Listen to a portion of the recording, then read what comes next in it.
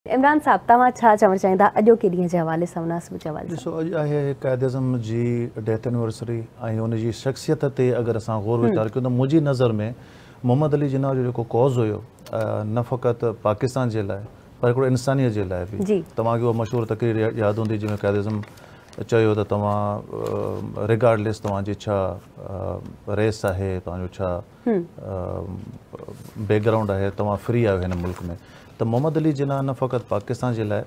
پر ہوبلک اٹلار عوام کے وجنری لیڈر ہوا ہوں سوچ ہوئی وہ کاز ہونٹریٹ انگ ڈیڈیکیشن کمٹمینٹ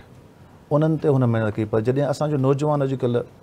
کچھ مشکلات کے ڈسکیزیٹ تھے تو ان کے ایگزامپل ڈیم محمد علی جاح جو پروگرام جی اگتے ہلو تو بیک گراؤنڈ سے بھی گلائیس تو ان بھی زندگی میں کتری محنت کی تو محمد علی جناح صاحب جو کریڈٹ ہے وہ سجی دنیا مانے تھی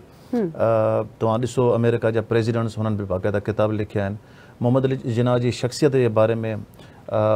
جتر الف جتروں گالوں گھٹ ہے اہانتے سجے ملک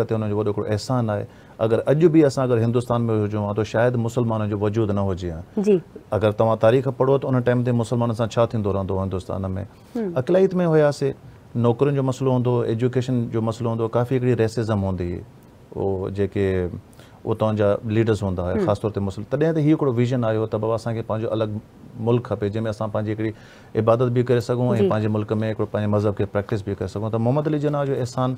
مجھے مت ان قوم کے ایک ایک فردر کے مت جو ان کے بارے میں گھلائیں